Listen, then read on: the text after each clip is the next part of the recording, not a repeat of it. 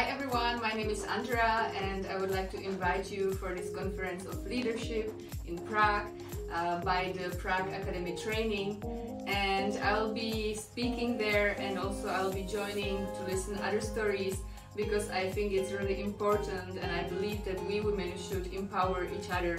So come and join us and I'll see you there.